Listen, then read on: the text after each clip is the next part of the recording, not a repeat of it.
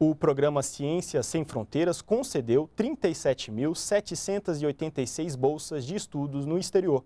A maioria foi para a chamada graduação sanduíche, onde parte dos estudos é feita lá fora. Os países que mais receberam bolsistas são Estados Unidos, França, Canadá, Reino Unido e Austrália. Gabriel acabou de voltar de Montreal, no Canadá. Ficou um ano no país pelo programa Ciências Sem Fronteiras. Ele fez a modalidade até agora mais procurada pelos estudantes, a graduação sanduíche. Por meio dela, o aluno faz uma parte da universidade no exterior. No caso de Gabriel, o curso é de engenharia elétrica. Ele avalia que trouxe na bagagem uma experiência para toda a vida. Essa experiência ela foi, foi muito importante. Eu achei que ela vai, vai me diferenciar no mercado de trabalho. Eu acho que, além disso, né, ela vai contribuir para os objetivos do programa, então de trazer conhecimento de fora para o Brasil. O país escolhido por Gabriel, Canadá, é um dos 37 que participam do Ciências Sem Fronteiras.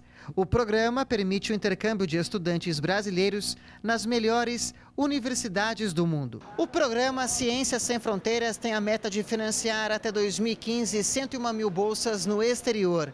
O investimento do governo federal é de mais de 3 bilhões de reais. O último balanço revela que até o fim do mês passado, quase 38 mil bolsas foram concedidas pelo programa. O Ciências Sem Fronteiras oferta bolsas de graduação, mestrado, doutorado e pós-doutorado.